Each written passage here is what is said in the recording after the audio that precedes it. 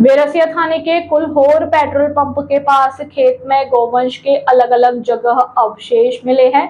जानकारी मिलते ही ग्रामीण जन और हिंदू संगठन के लोग खेत पर एकत्रित हो गए। इसके बाद दोषियों के खिलाफ कार्यवाही की मांग करने लगे। जानकारी मिलते ही ग्रामीण जन और हिंदू संगठन के लोग खेत पर एकत्रित हो गए। इसके बाद दोषियों के खिलाफ कार्रवाई की मांग करने लगे।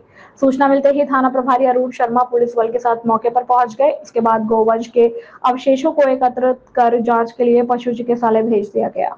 पुलिस ने ग्रामीणों को आश्वस्त किया है कि जो भी इस घटनाक्रम में शामिल होंगे, उनके खिलाफ कानूनी कार्रवाई की जाएगी। मुकेश बैरागी की रिपोर्ट। इस तरह की घटना आगे ना हो, उसके लिए आप आरोपियों को क्या कार्रवाई करेंगे? जो भी इस घटना में सम्मिलित है और मैं ये सबको विश्वास दिला रहा हूँ कि उसके खिलाफ कड़ी से कड़ी कार्रवाई की जाएगी और आगंदा घटना पुनरावृत्ति ना हो इसके लिए भी पूर्व से ही प्रतिबंधक कार्रवाई भी सभी पे की जाएँगी। ये बात के पास में जो आज जो घटना हुई है उसके बारे में बताइए। मेरे को सुबह मॉर्निंग में फ़ोन आया कि यहाँ पे कुछ गोवंश जैसे अवशेष मिले हैं और अभी क्लियर नहीं है कि वो गोवंश है कि नहीं है।